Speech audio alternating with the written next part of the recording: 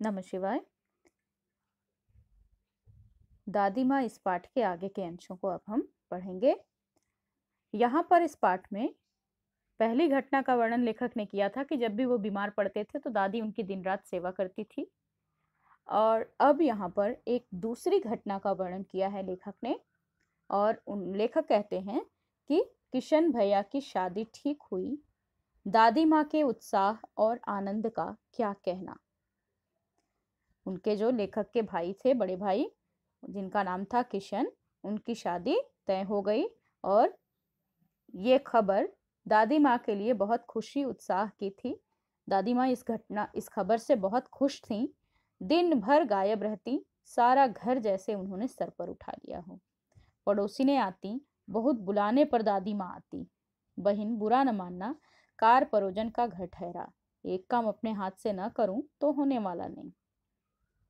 जानने को यूँ सभी जानते थे कि दादी माँ कुछ करती नहीं।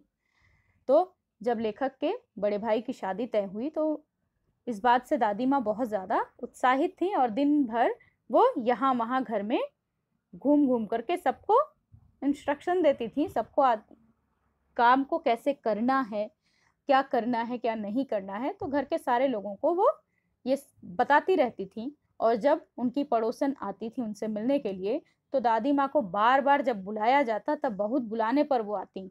और वो ये आते ही कहती कि, बहन, बुरा मत मानना, कार परोजन का घर ठहरा, यानी शादी के, शादी का घर है, और शादी के घर में बहुत सारे काम होते हैं। और दादी ये कहती कि, ये काम, एक काम अगर अपने हाथ से मैं नहीं करूँ तो कुछ भी होने वाला नहीं है। लेखक ये भी कहते हैं कि, जानने को यो तो सभी जानते थे कि दादी माँ कुछ करती नहीं। इसका ये अर्थ नहीं था कि दादी कुछ करती नहीं थी।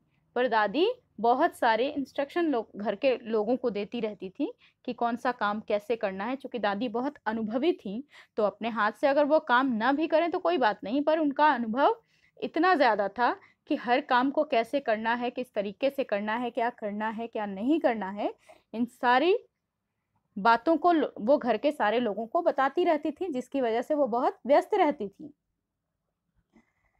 पर किसी काम में उनकी अनुपस्थिति वस्तुतः विलंब का कारण बन जाती। पर यदि कोई काम हो रहा है और दादी अगर वहाँ नहीं है तो ये निश्चित था कि उस काम में देर होता ही था, देर होती ही थी। उन्हीं दिनों की बात है, एक दिन दोपहर को मैं घर लौटा। बाहरी निस्तार में दादी माँ किसी पर बिगड़ रही थी। देखा, पास के कोने में दुबकी रामी की चाची खड़ी है। और लेखक कहते हैं कि उन्हीं दिनों की बात है। एक दिन दोपहर को मैं घर घर पर लौटा तो मैंने देखा कि बाहर दादी किसी के ऊपर बहुत बुरी तरह से नाराज़ हो रही थी, बहुत बिगड़ रही थी उस, उसके ऊपर। और जब लेखक ने देखा तो वहीं कोने में रामी की चाची खड़ी थी। सो न होगा धन्नो। दादी उनको डांट रही थी धन्नो को। मैं रुपए मैं सूद के आज दे दे। वो धन्नो को डांट रही थी और धन्नो ने उनसे कर्ज लिया हुआ था। तो ना वो मूल पैसे दे रही थी और ना ही सूद दे रही थी। तो दादी उसे बहुत डांट रही थी और कह रही थी कि तू आज मेरे पूरे पैसे तू सूद के साथ आज मुझे दे दे, तेरी आँख में तो शर्म है नहीं। मांगने के समय कैसी आई थी, पैरों पर नाक रगड़ती फिरी, किसी ने एक पाई भी न दी। अब लगी है आजकल करने में, फ़सल में दूँगी, फ़सल में दूँगी, अब क्या तेरी खातिर दूसरी फ़सल कटेगी? वो बहुत डांट रही हैं धन्नो को और कहती हैं कि जब पैसे मांगने थे तब तो तू बड़ी गिड़गिड़ाती हुई आई थी मेरे सामने हाथ जोड़कर, मेरे पैरों पर नाक रगड़ती फिरी। और अब आजकल कर रही है, आज दूँगी, कल दूँगी, अब क्या तेरी खातिर दूसरी फ़सल कटेगी? तब तू मुझे पैसे वापस करेगी। इस तरह से वो धनों को बहुत डांट रही थी। और जो रामी की चाची थी, वो कह रही है कि दूँगी, मालकिन रामी की चाची रोती हुई दोनों हाथों से आंचल पकड़े, दादी माँ के पैरों की ओर झुकी। बिटिया की शादी है, आप न दया करेंगी तो उस बेचारी का निस्तार कैसे होगा? और रामी की जो चाची थी, जिसका नाम धन्नो था, वो बहुत रो रही थी और दोनों हाथों से अपना आंचल पकड़े हुए दादी के पैरों की तरफ़ झुक गई, उनके पैर छूने के लिए और उनसे कह रही है कि मेरी बेटी की शादी है, अगर आप मुझ पर दया नहीं करेंगी तो उस बेचारी का निस्तार कैसे होगा? वो कैसे उसकी शादी होगी। हट हट, अभी नहा के आ रही हूँ। दादी माँ पीछे हट गई। और दादी माँ जल्दी किसी को खुद को छूने नहीं देती थी। तो कह, जैसे ही वो उनके पैर की तरफ़ झुकती है, वो कहती है, दूर हट, मैं अभी अभी नहा के आ रही हूँ। मेरे पैर छूने की आवश्यकता नहीं है।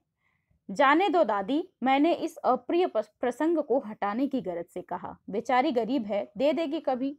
लेखक कहते हैं कि मैंने अपनी दादी को कहा कि, दादी, रहने दीजिए। जब उसके पास पैसे होगा तो वो दे देगी। और जैसे ही लेखक ऐसे कहते हैं, दादी, उनके ऊपर भड़क जाती हैं, गुस्सा हो जाती हैं और कहती हैं, चल चल, तू चला है मुझे समझाने। और दादी की डांट खा करके लेखक चुपचाप आँगन की ओर चला गया। फिर इस घटना को कई दिन बीत गए। लेखक भी इस बात को एकदम भूल सा गया था। तभी एक दिन रास्ते में उसे रामी की चाची मिल गई। यानी वही धन्नो मिली वह दादी को पूतो, फलो, दूधो, नहाओ का आशीर्वाद दे रही थी और वही रामी की चाची जो उस जो उस दिन दादी जिनको बहुत डांट रही थी, जो बहुत रो रही थी तो जनरली होता क्या है कि यदि हमें कोई बहुत डांटता है तो हम, हमारे मन में उसके प्रति दुर्भावना आ जाती है। पर लेखक कहते हैं कि जब मैंने धन्नो को देखा, रामी की चाची को देखा तो वह दादी को बहुत आशीर्वाद दे रही थी और जब वो बहुत आशीर्वाद दे रही थी तो लेखक को बहुत आश्चर्य हुआ और वो बहुत हैरान हो जाता है और पूछता है कि क्या बात है धन्नो चाची।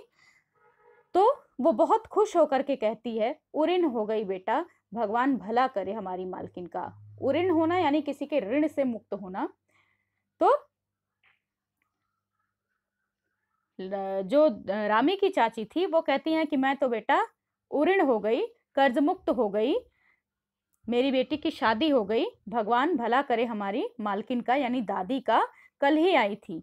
पीछे का सभी रुपया छोड़ दिया, ऊपर से दस रुपए का नोट देकर बोली, देखना धन्नो, जैसी तेरी बेटी वैसी मेरी, दस पाँच के लिए जग हसाई ना हो, देवता है बेटा, देवता। और वो बताती है कि दादी आई थी और जितना भी कर्ज मैंने लिया था, वो सारा कर्ज दादी ने माफ़ कर दिया और उसके अलावा भी मुझे दस रुपए का नोट देकर बोली कि धन्नो, तेरी जैसी बेटी है, वैसी ही वो मेरी भी बेटी है।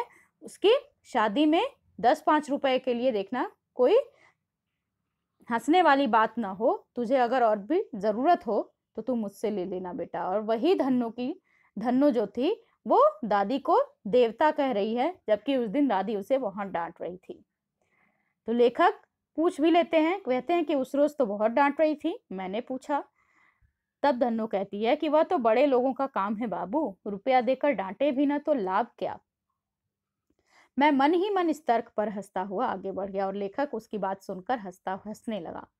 यहाँ पर दादी के चरित्र की एक बहुत अच्छी बात हमारे सामने आती है कि वो बहुत दयालु हैं।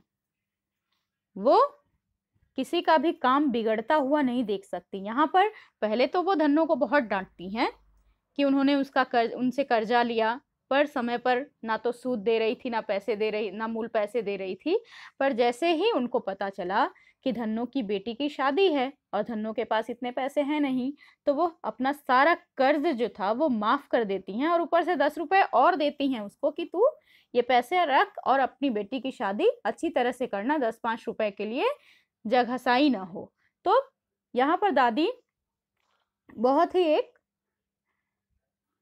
उनका जो चरित्र है, वो बहुत ही दयालु प्रकृति की एक महिला के रूप में यहाँ पर लेखक ने उनको बताया है। आज के लिए बस इतना ही। ओम नमः शिवाय।